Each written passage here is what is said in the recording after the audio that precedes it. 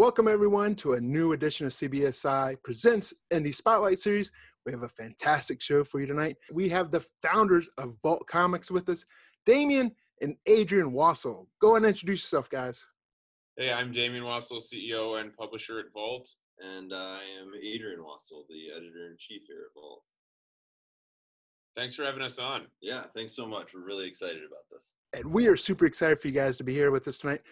Joining me tonight, we also have the co-host, Jack DeMeo, aka Mr. Bolo. What's going on, buddy? Oh, what's going on, Brian? Excited to be here for another Indie Spotlight Series show.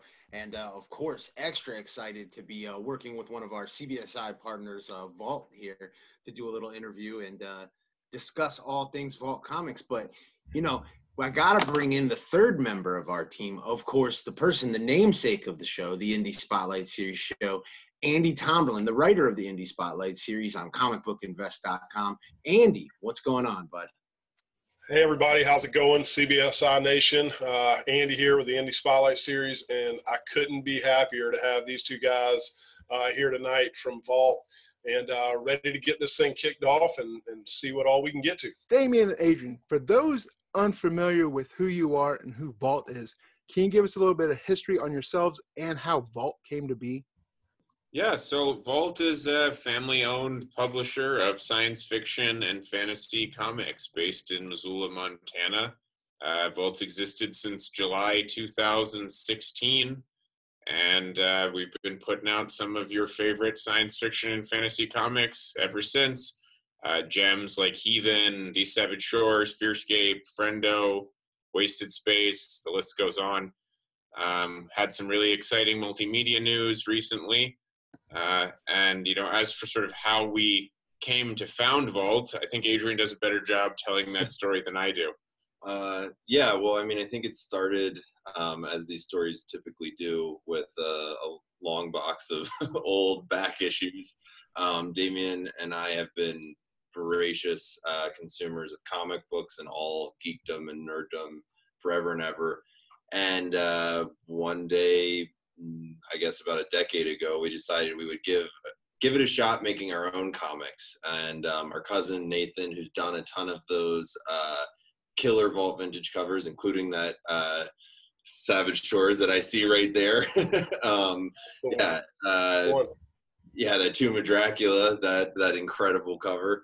Um, so that's our cousin Nathan, and uh, we decided that the three of us were going to try making some books and we made a couple comics ourselves and self-published took them to conventions did the hustle and slowly built the infrastructure to um, to really publish a book. We negotiated a like a, a deal with diamond to distribute and before long we realized like oh you know we have all the tools to publish um, and there are all these creators with incredible stories that they want to tell and so we started laying the groundwork for vault in about in 2016 and then launched our first two books heathen and fissure in february of 2017 and uh, yeah the rest has been just trying to keep up with the moving train.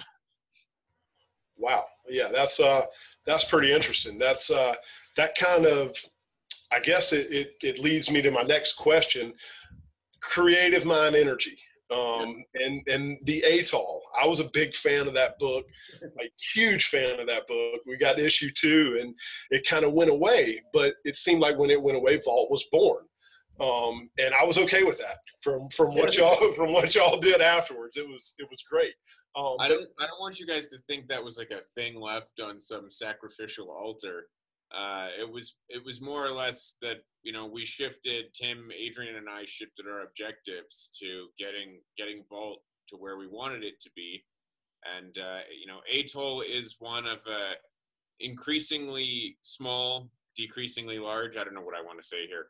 A smaller and smaller handful of lingering projects that we have every intention of wrapping up uh, when the time is right. So wow. yeah, and CME was uh you know that was the title under which we were self-publishing and pushing stuff and doing those cons. And it was when Damian and I were uh, still much greener and much newer to all of this and Tim was working on Atoll I actually met Tim at a signing where he was signing um, Enormous and I was signing my book Gifted at Hastings together. And struck up the friendship. And um, it's uh, obviously been an incredible friendship and creative partnership and business partnership working with Tim. So I know he uh, we, we like Damian said, we have plans to hopefully wrap that up and and finish that too. Um, it was just a matter of shifting and building Vault and realizing if we were going to make Vault work, we had to pour everything into it.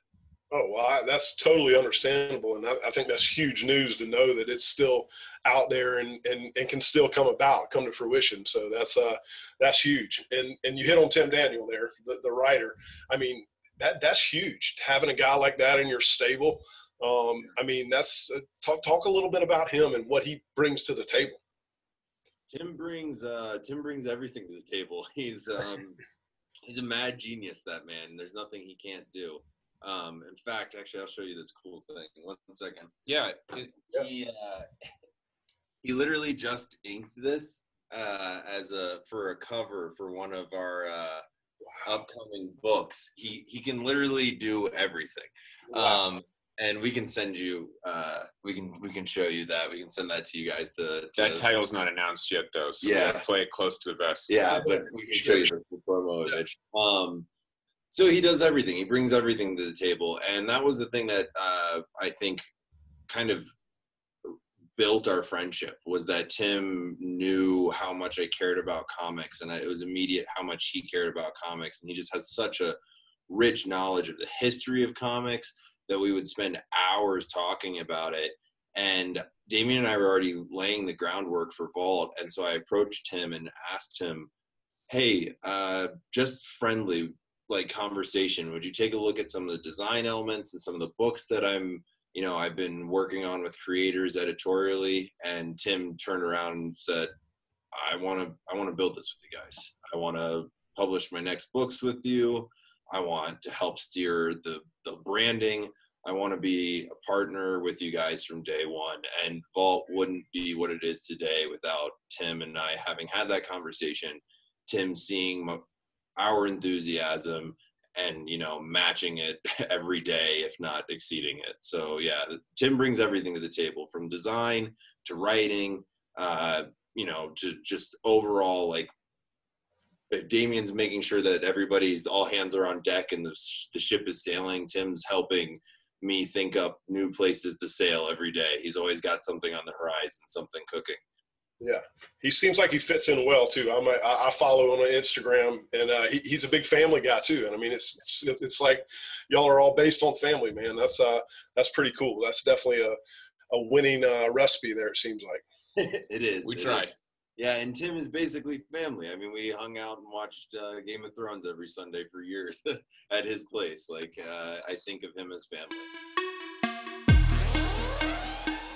Yeah, I mean Nate's a co-founder of the business. He's been with us from from day one, and uh, you know these days he works as an art director and staff illustrator, and you know general business partner.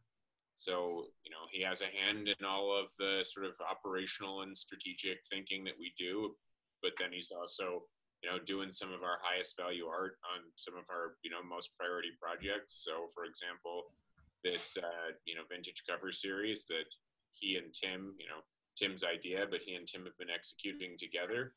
Um, and then he's also currently, you know, illustrating uh, Dark One, which is a project we have with, you know, multiple New York Times bestselling author Brandon Sanderson that's coming together for 2020.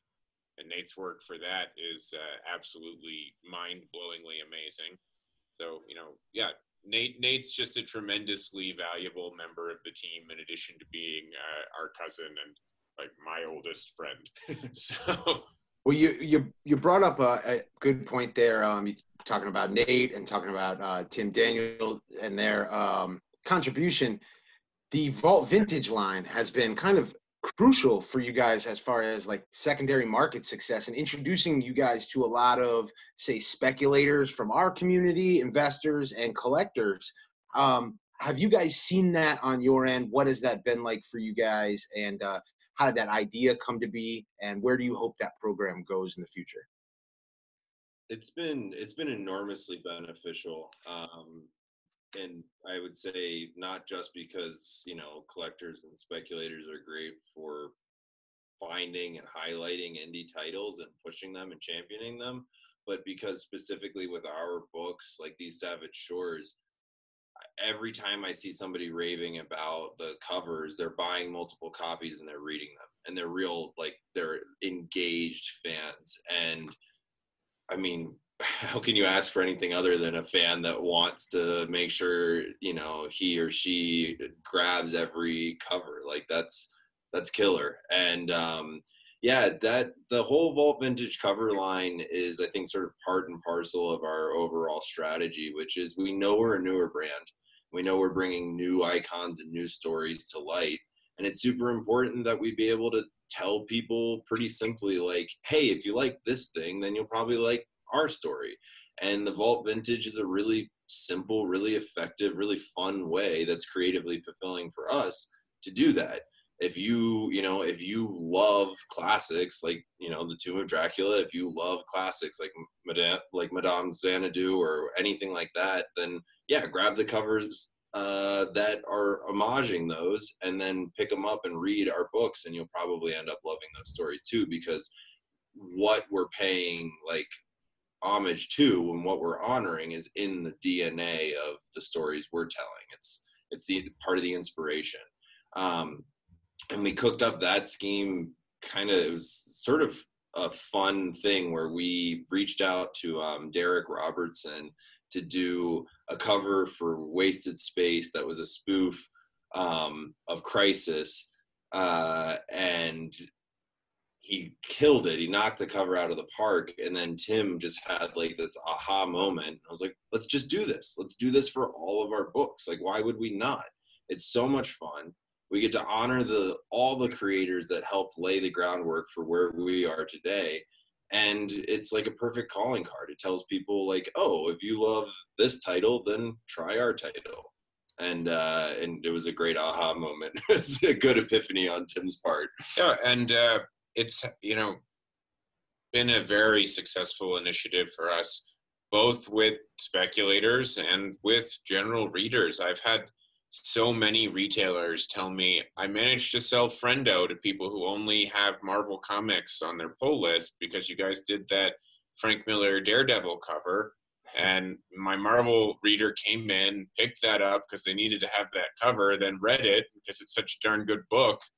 It came back and subscribed to the whole series. So what it's done is helped us, you know, market indie books to people who might not traditionally be indie readers, in addition to the traction we've gotten with speculators and, and investors.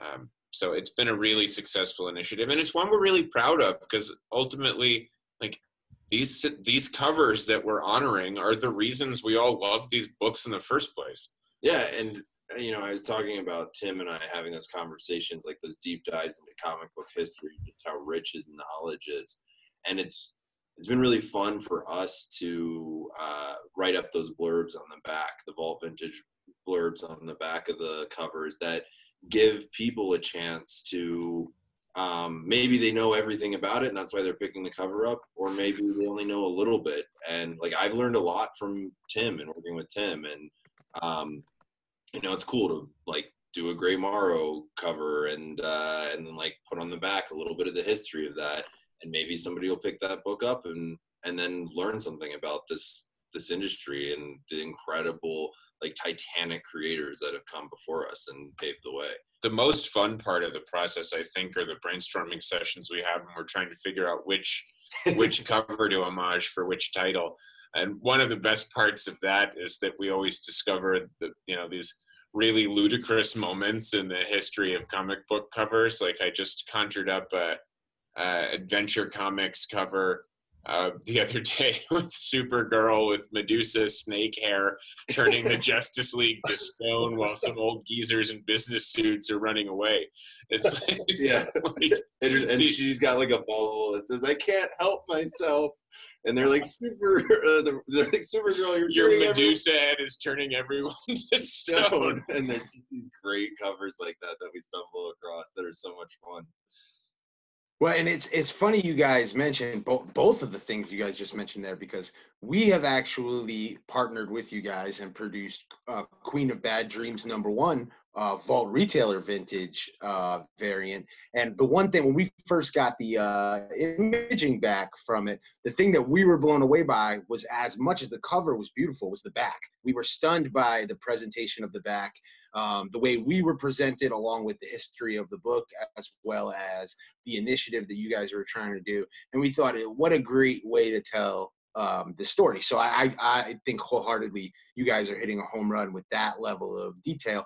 And I can relate to you guys talking about the brainstorming sessions because obviously we we've been having those similar discussions about trying to produce future variants with you guys and it is uh, it is very funny because myself Brian, um, the owner of CBSI, Ben C. We don't always um, have the same tastes and see the same vision. So having those kinds of discussions of golden age versus silver age versus modern versus what what the look of the book should be, it's it's it's been interesting. So I can relate to that on a small scale. What you guys must be doing on a very large scale.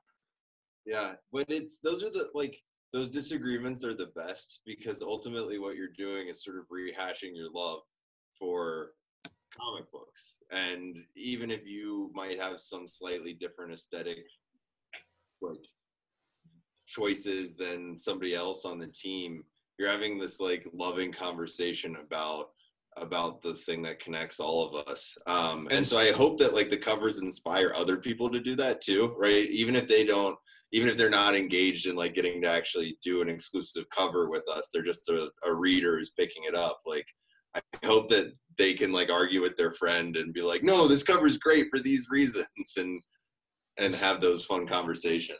And sometimes when you're digging through all those old covers, you like you come across these pieces that are like unbelievably tawdry or ludicrous, but nonetheless still just like stunning artwork. Like I stumbled across this sensational tales cover the other day that was like absolutely tawdry, but also just like dumbfoundingly gorgeous. And it's really fun to find these pieces where you know, like an artist is giving their all on a strange concept and just knocking it out of the park. That that was going to bring my question: is when you're doing those covers, is it purely from a passion and from the you guys and the and the creators, or do you take into the, or do you take into account, hey, this is a great cover, but will it sell our books?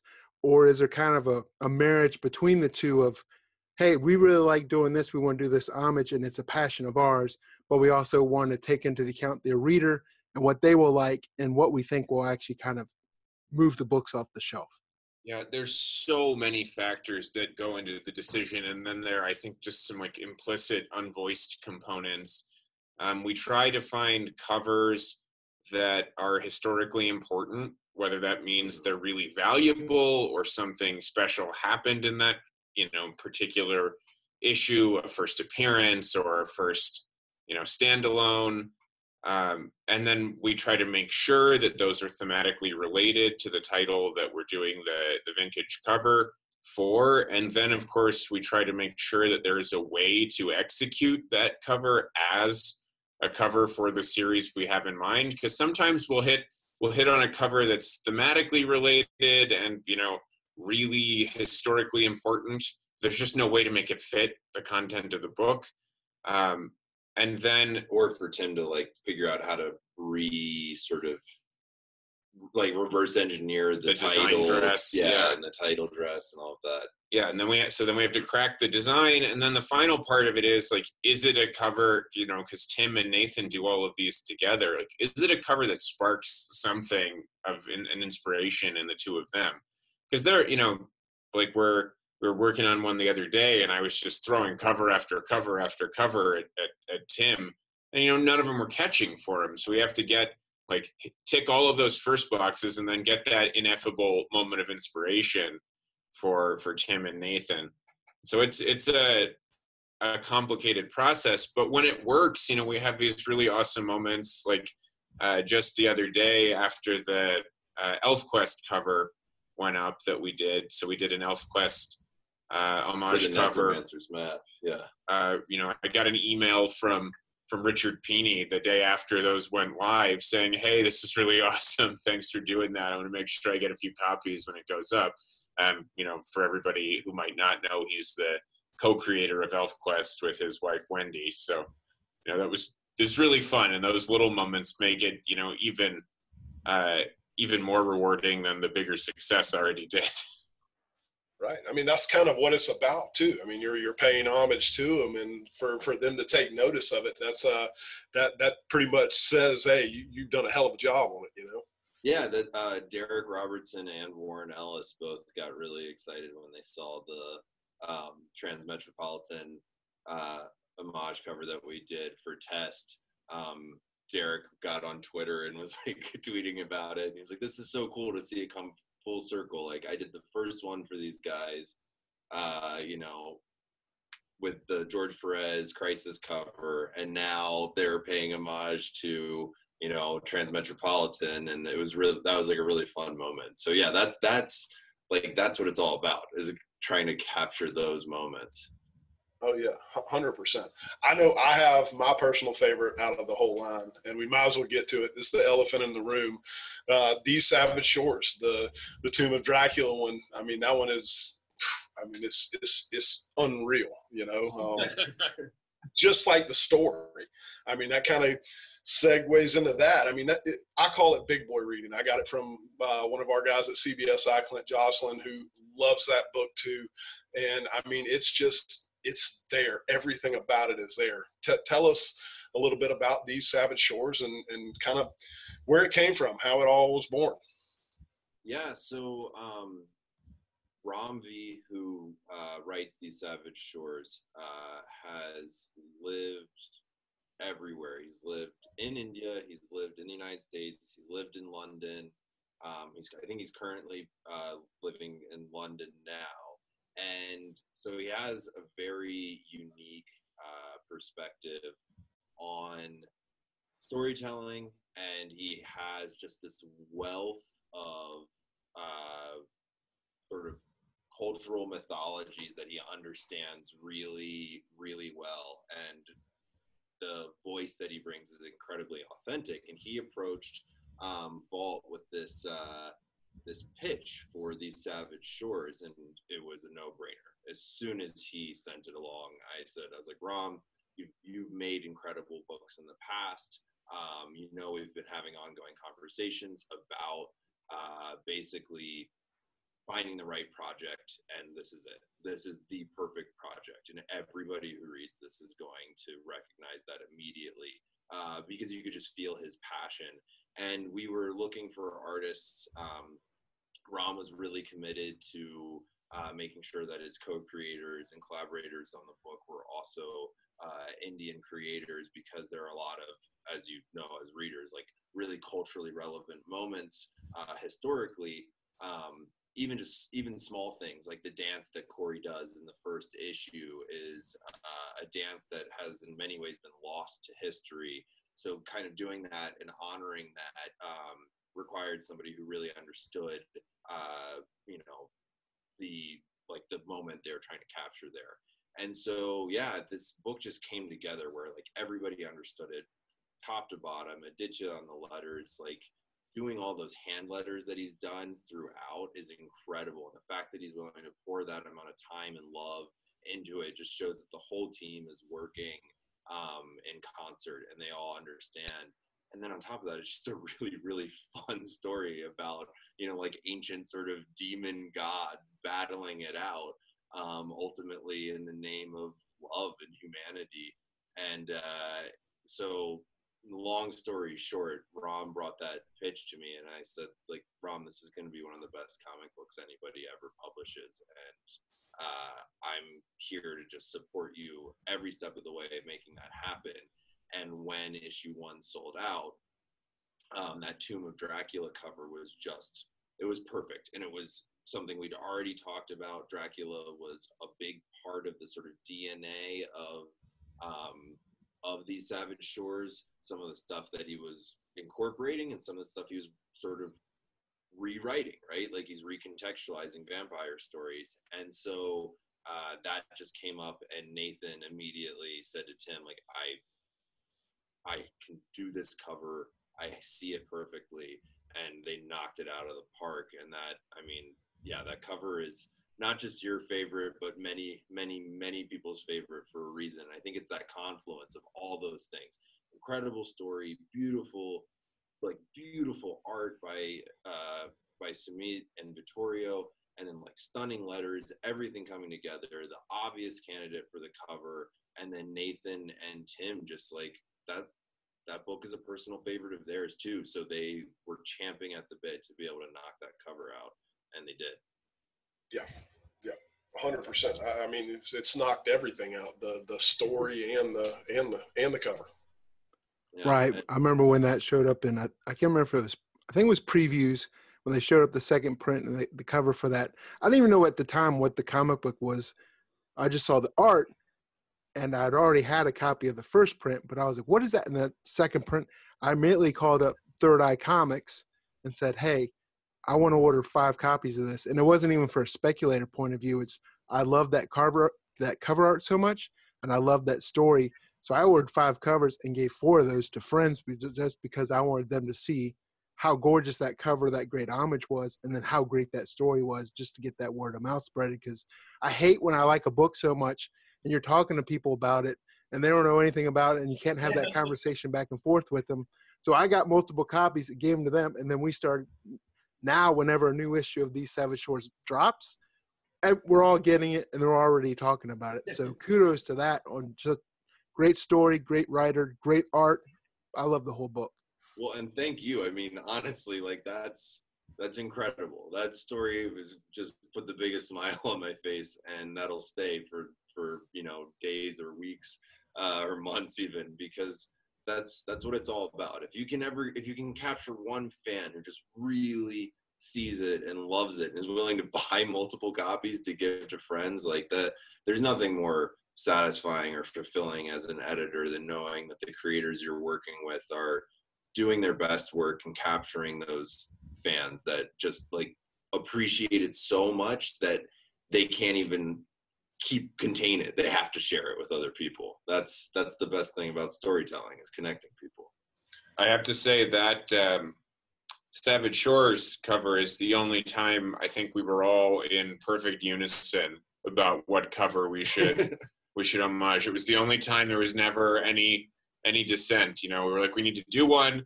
What's it going to be? And we were all like almost in perfect, you know, unison. We are like, oh, Tomb of Dracula is the obvious choice. yeah, that's that's awesome for sure. Yeah, I know when we were first, we did Queen of Bad Dreams, but when we were first talking about it, that's why I asked that question earlier about what's the passion, the story, and how you guys choose them.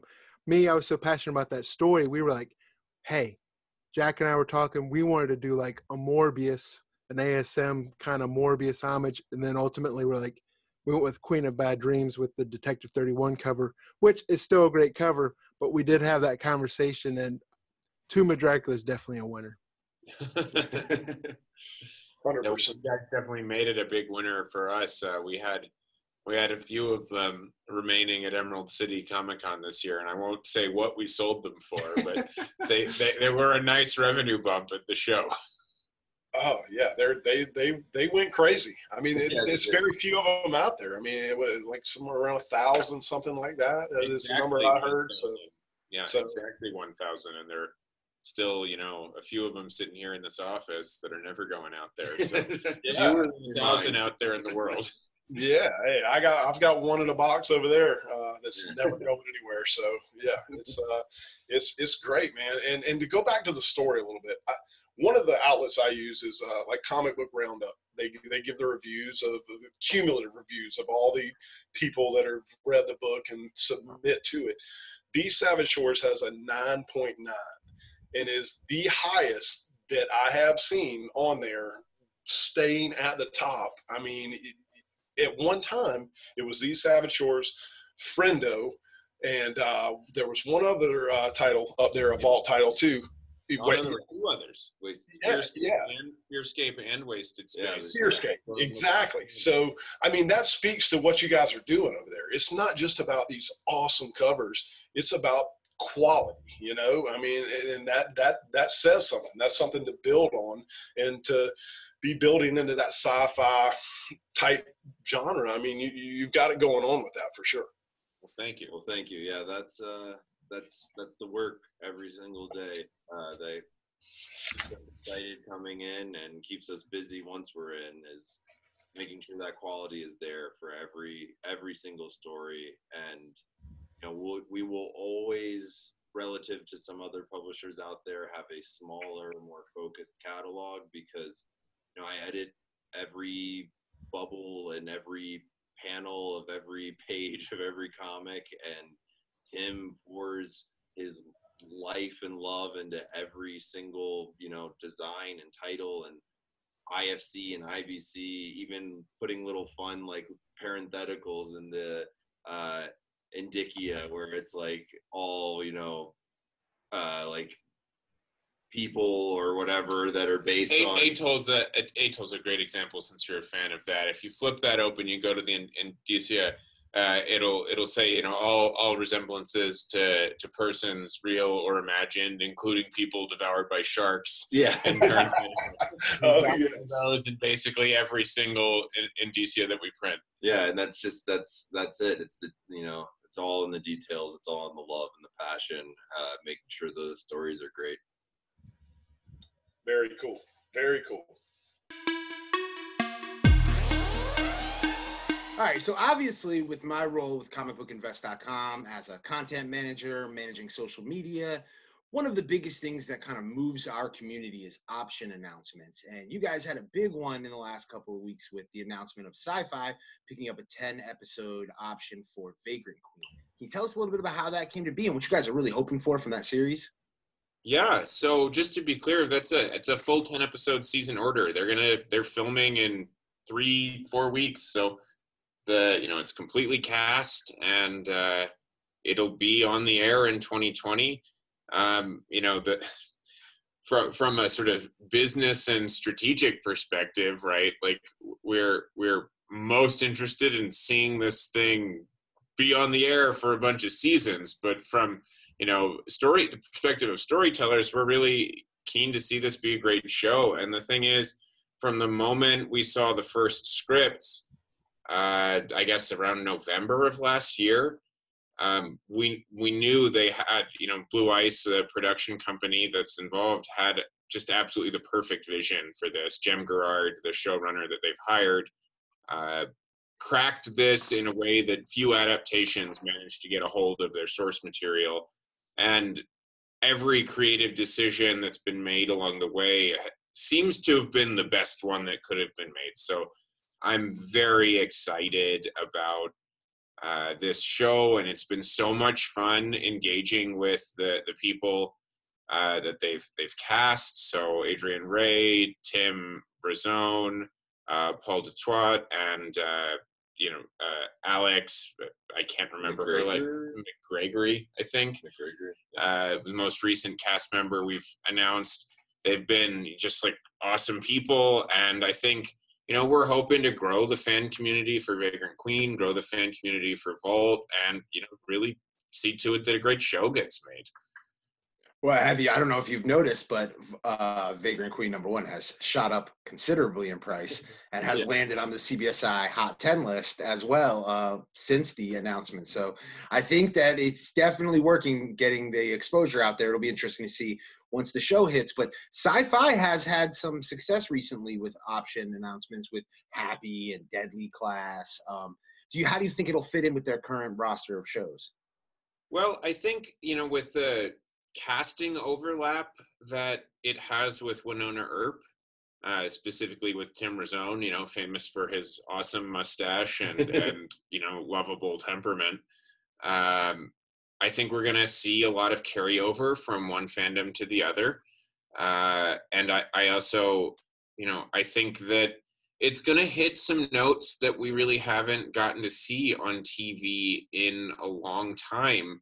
I think it's really going to play well to fans of Firefly, Yep. um, fans of Red Dwarf, fans of these sort of humorous uh, sci-fi romps. It's ultimately, you know, it's it's a story about messing about in space and like sort of ludicrous and lowbrow ways.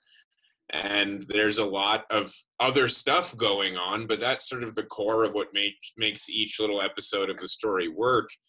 And jem who is show running it you know really got that from from the get-go. And i think as i said we're going to see a lot of other fandoms that have uh, you know looked to Syfy or looked to other you know components of the broader nbc universal uh, banner for for their sci-fi content you know come into this show.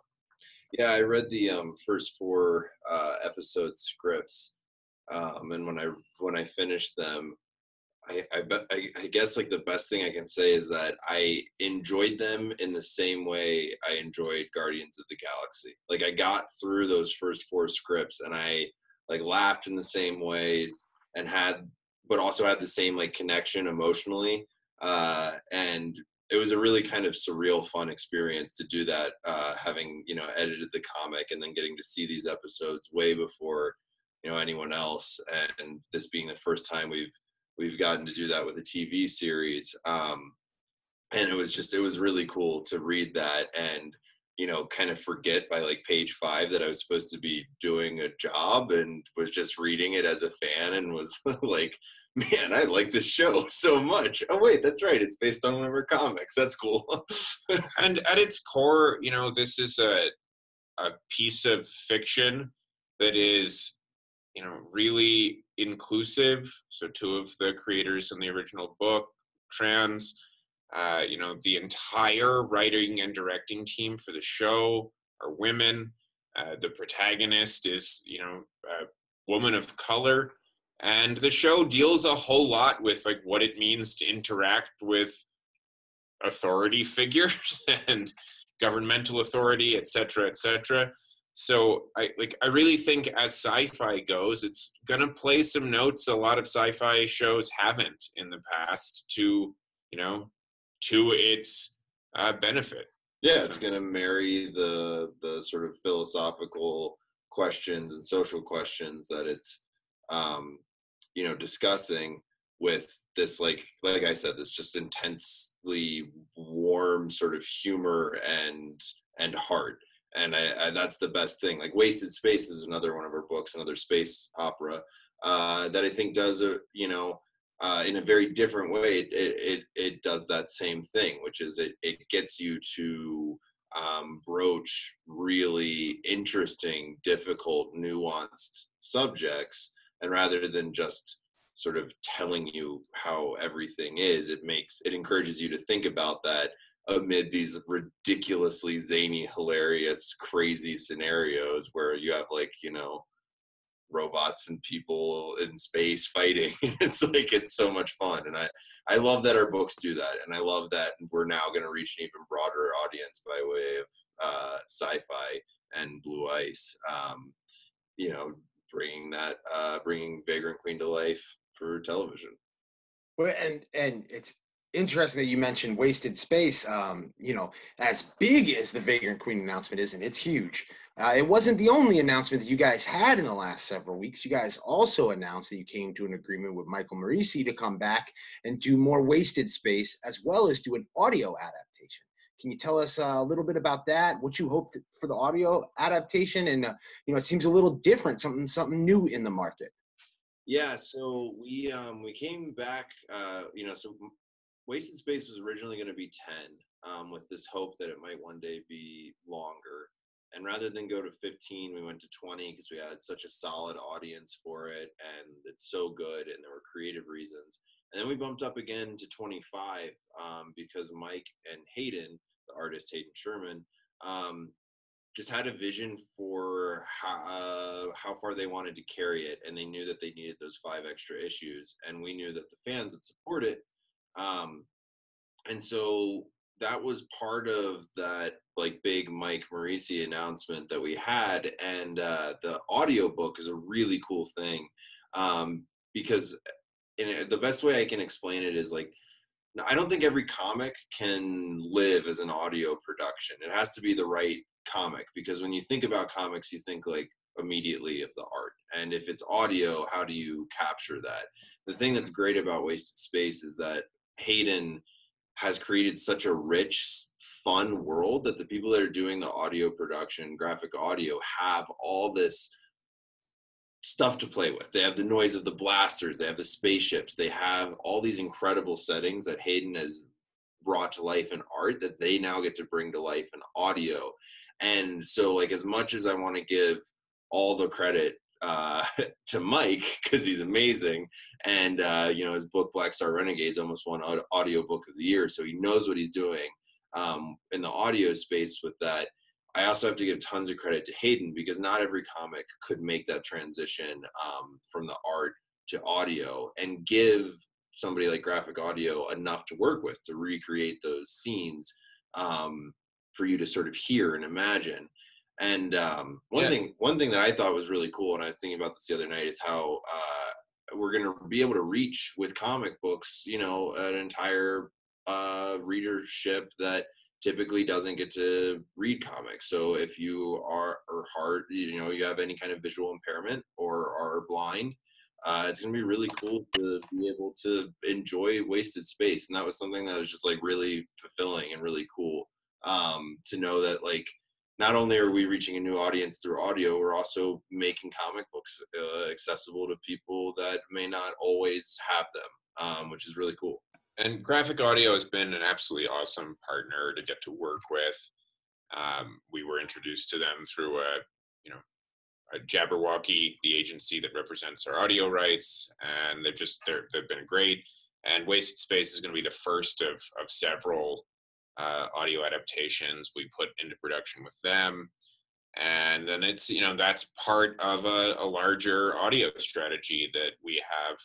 Uh, you know, Adrian and I have been audiobook fanatics for a decade now.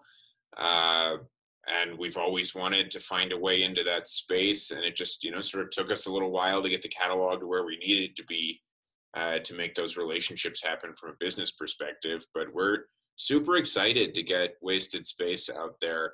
Uh, not not only because you know, Hayden and Mike have created this world that lends itself to audio so perfectly, but because uh, Rick, the guy at Graphic Audio who's taking lead on this project, he just loves this book.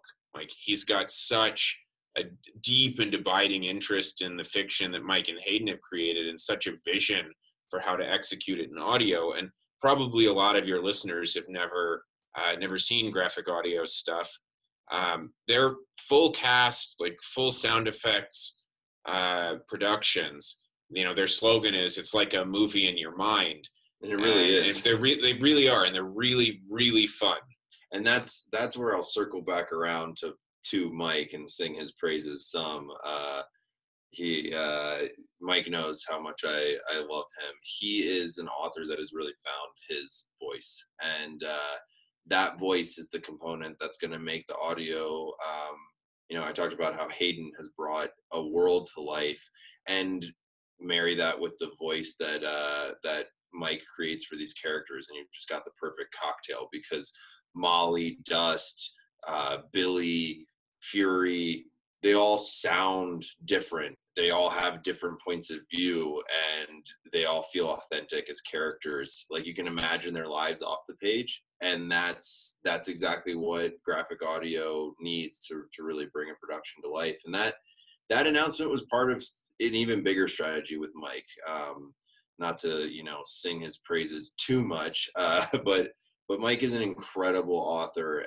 and an incredible creator um, an incredible collaborator i love working with him everybody who works with him loves working with him and um, we just announced uh, his uh, book Mall, um, co-written with Gary Dauberman, who's the screenwriter of the new It films and um, show running Swamp Thing, and uh, just an incredibly cool dude. And he and Mike have established a great friendship and are co-writing this really fun book, Mall.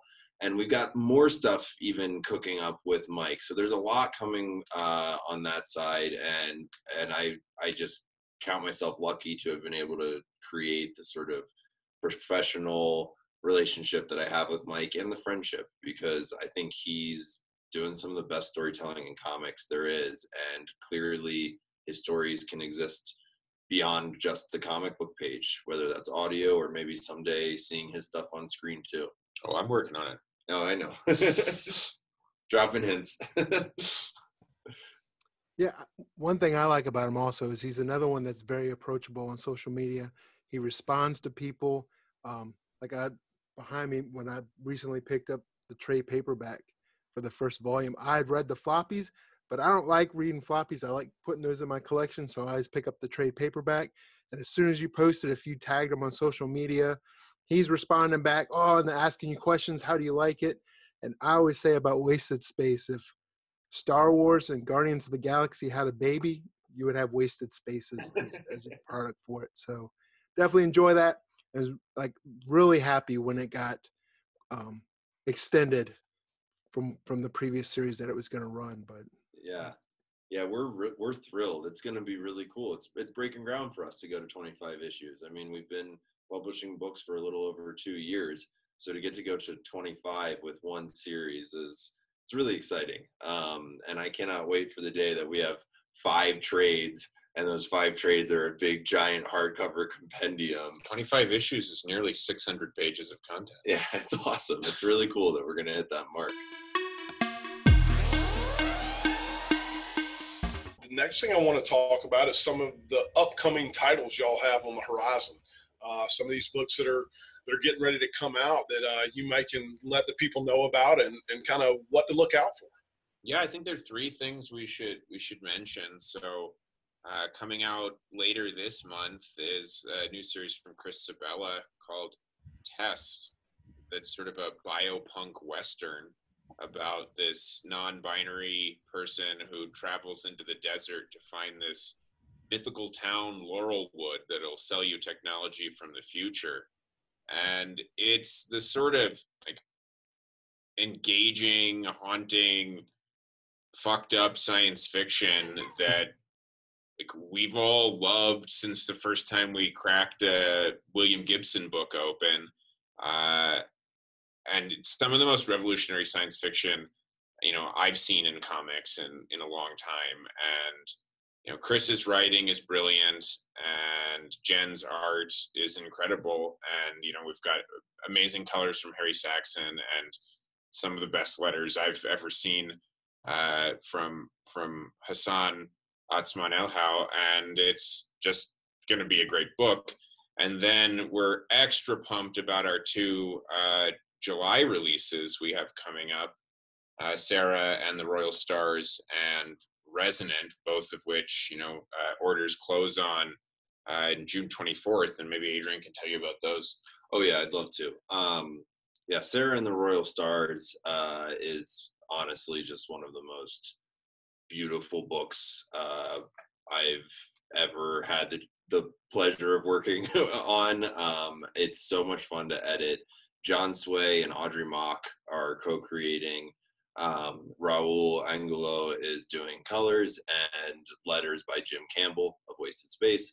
Um, it's this really like incredible sort of mashup of uh, like just heartwarming, like humorous moments and like heartbreaking uh, sort of family moments. And it's this big epic quest. Uh, Sera, the princess of Parsa, has to restore um, these fallen stars to the heavens so the seasons can turn again. And it will end like this famine that's been sort of plaguing her her kingdom and empire. And it's this expansive quest but it manages to always stay super grounded on these really really fun um, really great characters that you can't help but fall in love with uh, because the pacing is perfect and it's re- it's like laugh out loud funny yeah there are moments times. that will just kill you like you'll crack up so much and then the next page you'll turn and you like you know you like clutch your chest and like almost cry. Um, and i love that so much. I love whenever somebody can pull that off. I feel like anybody who loved heathen or like Monstress or isola or avatar the last airbender those kind of quest stories that do that that capture like humor and heart but also have like really felt stakes that are big and and impactful um are they're gonna love Sera and the royal stars. Um so i cannot recommend that book highly enough.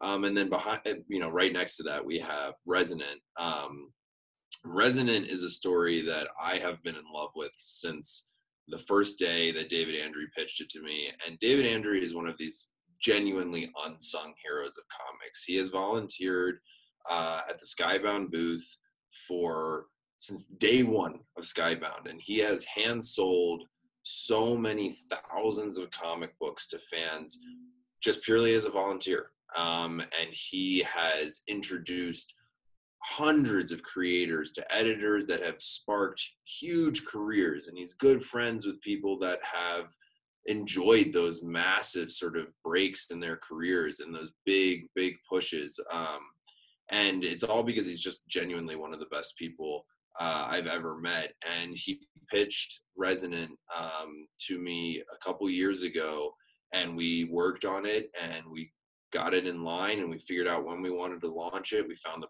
perfect co-creator, which was the biggest thing. And uh, Alejandro Aragon is the artist, um, and that pairing of Alejandro on inks and uh, Jason Wordie on colors is unreal. The book looks so good, and it's this crazy, cool sort of psychological thriller meets um, like post-apocalyptic odyssey. And it's about a father who has a chronically ill youngest son, a daughter, and another son, and um, they he, he needs to set out and sort of venture from their secluded home that they've built in the woods uh, to go get medicine for his youngest son who needs it.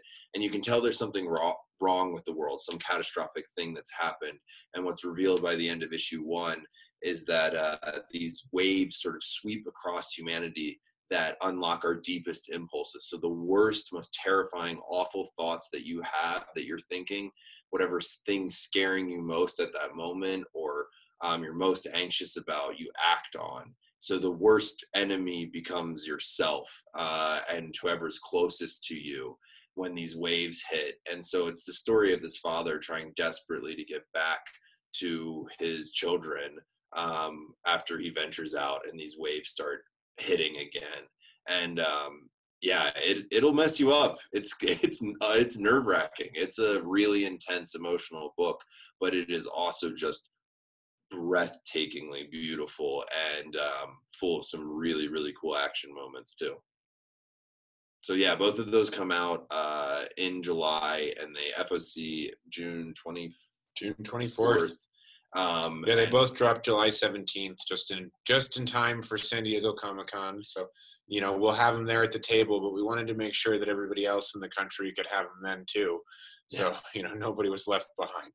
Yeah so definitely check those out. Those are those two books are things that we've been working on for a long time and these creative teams have poured their heart and soul into those books. Uh, i know you won't be disappointed like I, I, am really excited to share uh, some advanced looks at it with you guys because um, i think you'll love them so major bolo there for you guys. Make sure you're contacting your LCS before um, FOC final order cutoff day, so you can get that maximum discount, and you can go ahead and get your orders in for multiple copies because you know with a lot of these independent releases, when release day comes along, if you're trying to secure multiple copies, you may have a tough time at given LCSs across the country. So do your LCS a favor, do the publisher a favor, do the creators a favor. Get in touch with them early, put your orders in.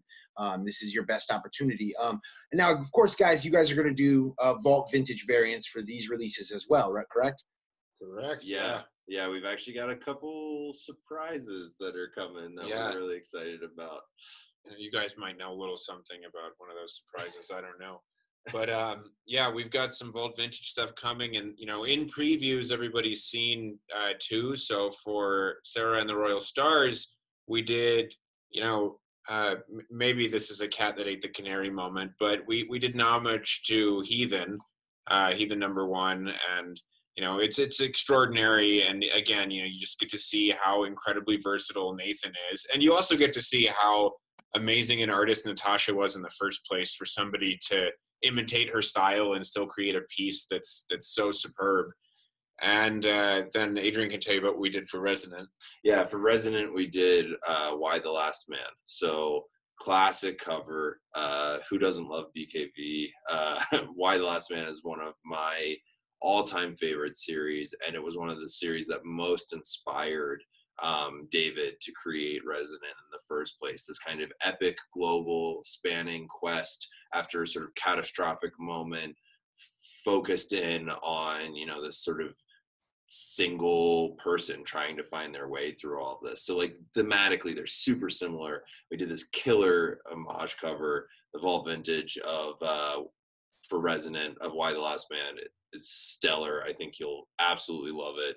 Um, and then we've got a couple extra fun things cooking up uh, that that I uh, I think I'll leave it to you guys to um, you know maybe spill the beans at some point. Yes, yes, we've definitely got uh, some surprises coming along the way, guys. Stay tuned. Simpleman's Comics YouTube channel. You'll see it here first, as always.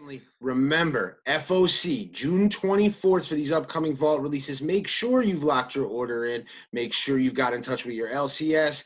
If you don't have a local LCS, look online.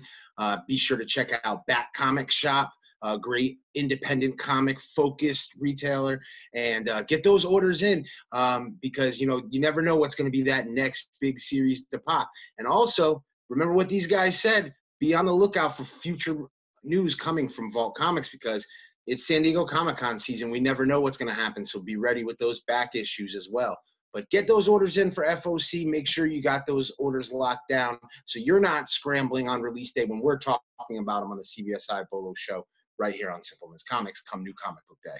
So normally this time in the interview process, we have a little lightning round where I ask five questions off real quick and then you just answer the quickest to your ability.